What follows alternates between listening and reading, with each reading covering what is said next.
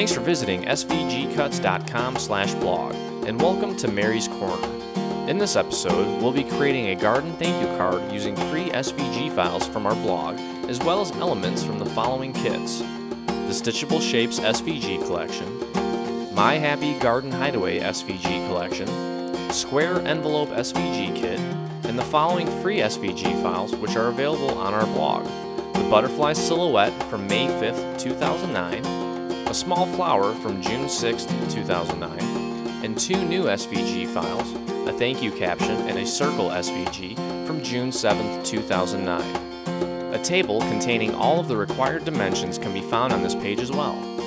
Some of you may already have the necessary SVG collections to create this great card, but for those of you who don't, you can click on the SVG collection names and you'll be taken to our store where you can purchase them for a very reasonable price. In this tutorial, we'll be working hands-on in Sure a lot, and then we'll also show you how to assemble the card as well. So let's get started. Alright, so let's go ahead and get started. First thing we're going to do is create the base of the card. And we're going to do that using one element from our Stitchable Shapes SVG collection and one element from our blog that you can download for free. So I'm going to go ahead and open up one at a time here. I'm going to go to File and I'm going to import SVG. And actually, I'm already in the directory for the Stitchable Shapes SVG uh, collection. So I'm going to open up the SVG file.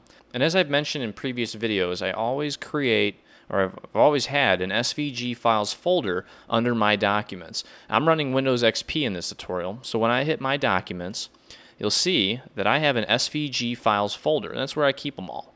Okay, so I'm going to open that up, and inside there I've got my Stitchable Shapes SVG collection, and there's another folder inside of that, and then the SVG files folder for that collection. Okay, and as you can see here, the circle.svg file is right here. I'm going to go ahead and double click on it to open it and it appears on my mat. Okay, so I'm moving it around here.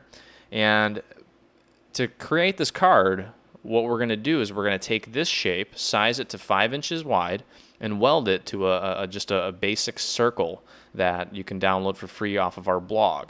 Um, so in order to do that, with the item or with the element highlighted, you want to go over to this properties window here and click on the keep proportions button.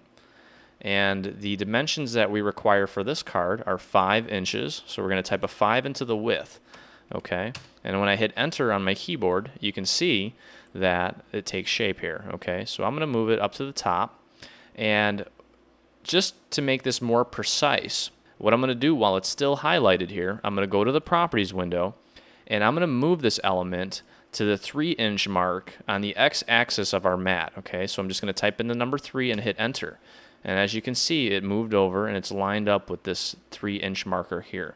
Okay, and we're doing that because when we add our next circle, we want to make sure that it's symmetrical. We want we don't want you know we don't want a uh, uh, we don't want a skewed or, or, or, card that's that's a little bit off. And, and technically, I think if you weld it, and if, if, even if it is a little bit off because they're circles, I don't think it's going to matter. But to just to be precise, let's do it this way, okay? So we've got our stitchable circle. It's on there. It's sized to the appropriate width, and we've aligned it on the x-axis at 3 inches. So I'm going to go ahead and click off of this shape, okay? And now I'm going to go to File. I'm going to import SVG, and now I'm going to import the free file, the free circle.svg that's from our blog. Okay, and here it is. Your, yours may be in a different location. You may have it on your desktop. You may have it in your SVG files folder. Wherever it is, you just need to go ahead and bring it up now. Okay, so I've, I've located it. I'm going to double click on it. Okay, and as you can see, it's placed it on the mat. And I'm going to go ahead and move it over. And the first thing I'm going to do is I'm going to click on Keep Proportions. I'm going to size the width to 5 inches. Hit Enter. And then I want to make sure that it's still highlighted. I'm going to go up here to the x-axis and put in the number 3 or 3 inch mark and hit enter. Okay, and as you can see it nudged it over. So now what I'm going to do, and actually I'm going to have to nudge it again because I already moved it off, but I'm going to bring it up so that it overlays or overlaps the stitchable circle. Okay, and we just want to just barely overlap there. Okay, so now that it's overlapped, I'm going to go back up here to the X and type in 3 because you can see since I don't have the greatest precision, it moved it over to the left a little bit. So I'm going to type into 3 again, hit enter, okay? It nudged it over. So now they're overlapping and they're exactly in line. And the last step is to actually weld them together. So one at a time, you want to make sure that your circle's highlighted. You're going to click on weld, okay? And then we're going to go ahead and click on this other circle and we're going to click on weld. So that tells Sure Cuts a lot that we're going to fuse or, or weld these patterns or shapes together at the point of intersection. Okay, so I'm going to click off this and I'm going to click on this little magnifying glass here to preview the actual cut itself. And by doing so, you can see, as indicated in red, the actual part that Sure Cuts a lot is going to cut. Okay, so here's where we're going to fold it, and there's our card. Okay, so we've got the card. You can just go ahead and load your paper and uh, feed it into your Cricut and go ahead and cut it. Okay. So you can pause here, and the next thing we're going to do is we're actually going to go over um, cutting one of the additional files. Um, it's just a simple cut, no welding, nothing crazy, just sizing, okay? And you're going to repeat this next step for all of the SVGs required to create this card. So for now, I'm just going to go ahead and delete this by highlighting it and hitting, hitting delete on my keyboard.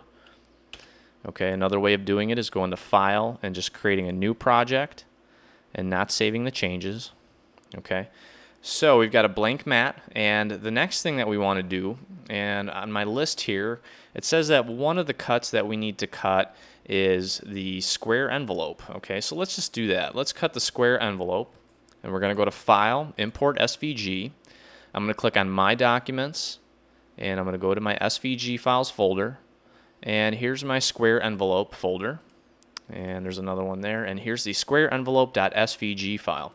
Okay?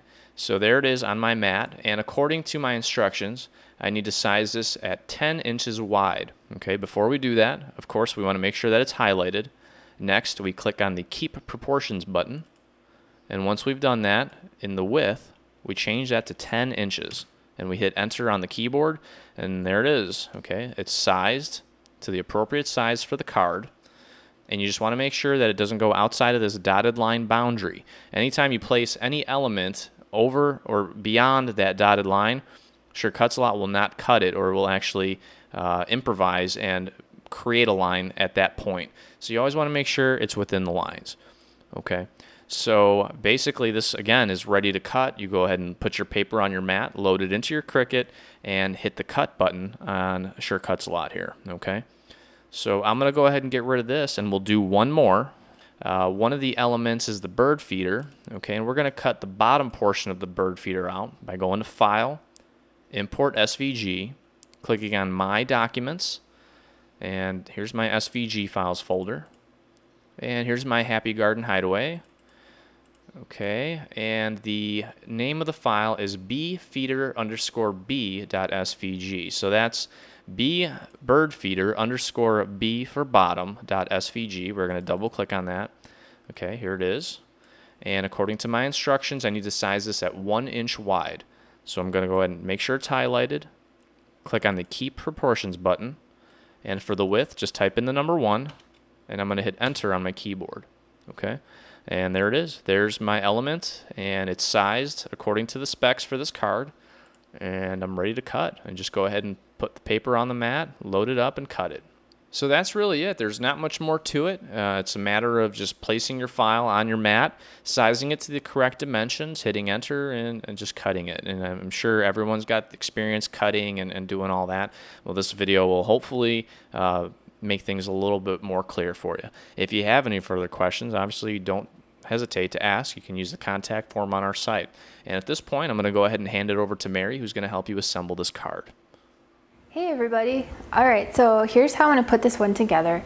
I've already started stitching around the edge of this and I started by going in through about the third or fourth hole down from the top and center because this is the top up here.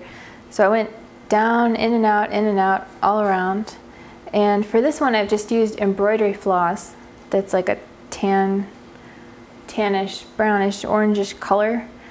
And on the other one that I made, I used some green fibers that's by the Paper Studio, which I picked up today at Hobby Lobby. But you know, whatever you've got laying around, or if you want to get something, whatever's going to look cool. So